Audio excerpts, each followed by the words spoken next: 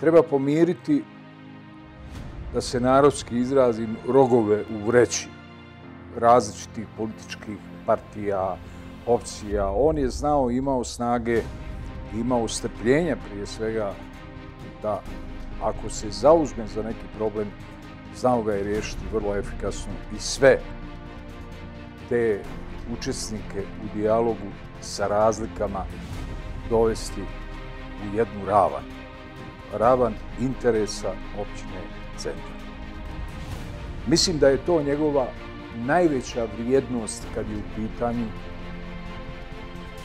autoritet i odnosi među ljudima. Znao im je prići, potapšati, napraviti pauzu kad ne ide, pa se onda vratiti i ipak na kraju ne istirati poslom, nego istirati za dobrobit svih građana ovoga grada.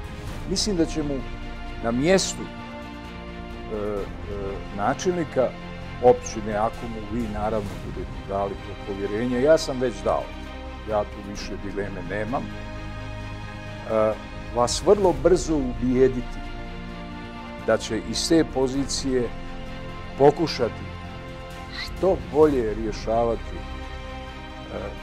vaše probleme, jer on zna i zašto i kako. Drugi to nisam siguran da baš znaju jer nemaju to ogromno iskustvo.